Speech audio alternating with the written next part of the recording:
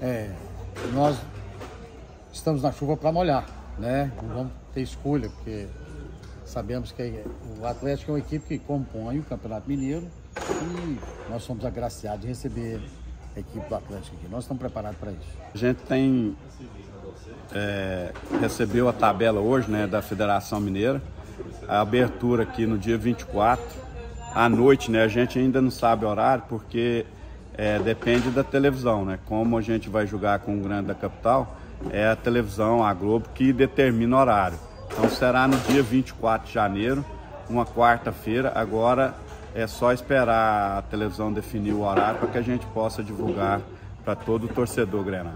Logo mais à noite, apresentação da equipe. Ó. Quais as novidades? Pode adiantar alguma coisa?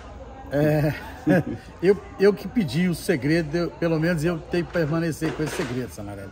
Conto com a presença de vocês para que essa, essa novidade seja divulgada com a presença de todos vocês lá. Às 19h30, no Salão Nobre do PTC. Parte daqueles que passaram aqui no ano, nesse ano irão continuar. E mais 90%, 70% foi contratações novas, indicado pelo nosso treinador. Foi um direito que nós demos a ele para que ele escolhesse os atletas que pudessem trabalhar dentro dos nossos limites, mas com um compromisso.